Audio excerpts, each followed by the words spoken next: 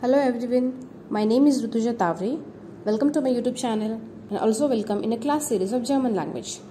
Today it's class 6.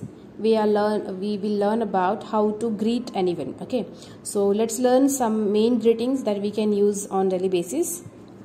First, good morning. Guten Morgen. Guten Morgen. Then second, good evening. Guten Abend. Guten Abend. Third, good night. Guten Nacht. Guten Nacht. Fourth, good day. Guten Tag. Guten Tag. Uh, because uh, Tag, T-A-G, is a day. Tag. Okay, then Guten Tag. Fifth, hello is hello.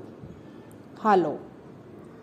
Sixth, by Tschüss Tschüss here the first t is very silent.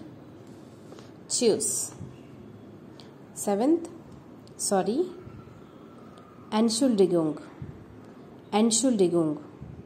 So you can pronounce it easily like entschuldigung. Entschuldigung. So this is entschuldigung. Eighth thank you Danke.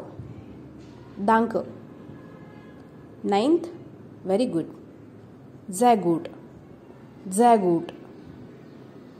Tenth, see you again is Auf Wiedersehen. Auf Wiedersehen.